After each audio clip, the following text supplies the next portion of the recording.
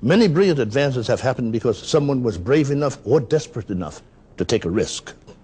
A bold idea may take years to research and develop, but the payoff can be enormous. Nowhere is this more evident than in the field of healthcare. Founded in 1982, the Center for Male Reproductive Medicine and Microsurgery was the first university center in the country devoted exclusively to male infertility treatment and research. The center maintains research facilities at the Weill Cornell Medical Center and has graduated more than 20 fellows in male reproduction. A pioneer in the microsurgical repairing of obstructions of the male reproductive tract, the center has helped more than 6,000 infertile couples worldwide realize their dream of bringing new life into the world. The mission of the Center for Male Reproductive Medicine and Microsurgery is to provide state-of-the-art compassionate care for the infertile couple where there's a major male factor contributing to the couple's inability to conceive. Our mission also includes reproductive health for men, maintaining and enhancing the function of the male reproductive system. The Germans had always dreamt of starting a family. After years of vainly trying, their fears began to give way to hopelessness. We tried for a year and a half and nothing was happening. And then we decided to check things out, see if everything was okay with me and with him. I went to see a urologist and my, my, uh, my results were not good. My sperm count was low, among other things, and uh, uh, we were devastated because at that point we, we didn't figure we'd be able to have children. The Germans are not alone. According to a recent study, one in every six couples trying to conceive battle infertility problems. And in at least half of all cases of infertility, a male factor is a major or contributing cause. The good news is research advances in the area of male reproduction have brought dramatic changes in the ability to both diagnose and treat male infertility. About half of all infertility, there's either a male factor as the main cause or as a contributing cause.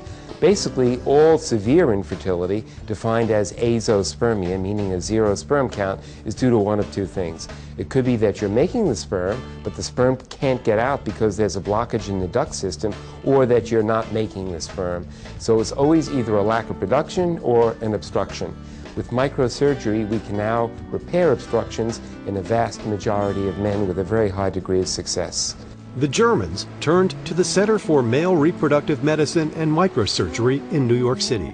Dr. Mark Goldstein heads a staff of skilled, caring professionals offering state of the art compassionate care for the infertile male.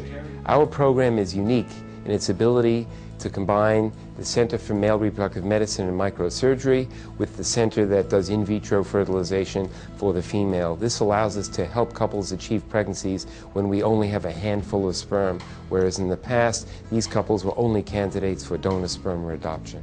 It used to be thought that when a couple suffered from infertility, there was very little that could be done to help them, especially if it was a male problem. But now we can help more than 70% of couples where there's a serious male problem contributing conceive. Advances in microsurgery, advances in medical treatment, advances on the female side, which allow us to achieve pregnancies when we can only get a handful of sperm from men, now allow a majority of couples to successfully conceive. By collaborating with the in vitro fertilization program, we've achieved the highest pregnancy rates in the world with men who previously had conditions that couldn't be treated. Patrick had large bilateral varicoceles, meaning he had enlarged veins surrounding both testicles, which heated them up and caused him to have very poor sperm counts and very low testosterone levels. I performed microsurgical varicocelectomy on him, which is a minimally invasive outpatient procedure in which I use an operating microscope to safely tie off and eliminate these varicose veins. This then improved both his sperm function and his testosterone levels, allowing him and his wife to conceive naturally. My urologist recommended that we come see Dr. Goldstein. Dr. Goldstein made us feel very comfortable. Uh, we had, going in, we had no hope that we'd be able to have a child. And when he gave the diagnosis, we had hope again. Now we have two boys, Ryan and Aiden, and thanks to, it's all thanks to Dr. Goldstein. I love everything about being a father. I, I didn't think I'd, I'd, be in this position. Um, I have two boys uh, that play sports. Um, I can play sports with them. We do, you know, father-son things. It's everything about it just fantastic. For more information and the best in fertility care, contact the Center for Male Reproductive Medicine and Microsurgery. making the dream of parenthood a reality. People ask me how many children I have, I tell them over 2,000. Um, the feedback from the couples is, is unbelievable. One of the wonderful things about my field is it's about life. Most doctors are dealing with end of life or death, but what I'm dealing with is creating life, and it's an extremely um, exciting, happy field to be in. And our patients are so grateful. Um, the microsurgery that we do, uh, they're surprised at how quickly they recover, how little pain they have, um, and they're shocked at how it makes um, them feel better if they have varicoceles because it benefits not only sperm production, but the hormone production. But the biggest thrill, of course, is when they achieve a pregnancy, when they were told, forget about it, you'll never be able to have a baby. They come to our center, and then they walk home with a baby, and there's nothing quite like that. I had been married previously and had a vasectomy, and when Sue and I were married, we wanted the option to have children, so I went about having a vasectomy reversal, and the first time it didn't work. So we, we sought out Dr. Goldstein, and he performed this, the, the procedure, and it did work, and there's Olivia. I'm thrilled to have Olivia. Um, I, I always wanted a little girl, and um, it's really been, it's been great. It's, it's been more than I could have imagined. I would definitely recommend Dr. Goldstein and the center. In fact, I already have. He's uh, clearly very passionate about what he does, and he made the procedure very easy for us. What I enjoy most about being a mom is just being around the kids. I just, I love to be with them. I love doing everything that they love to do. And I never thought that I would have boys, and it's just so great. They're so, they're little balls of energy, and it's just so much fun to see them grow and watch them learn. And I love it. Absolutely, I would recommend Dr. Goldstein to other couples looking to conceive. When you don't think you're going to have children and then someone comes into your life and is able to help you have children, I mean, there's not much more that someone could possibly do for me in my life that I could be more grateful for than what he did.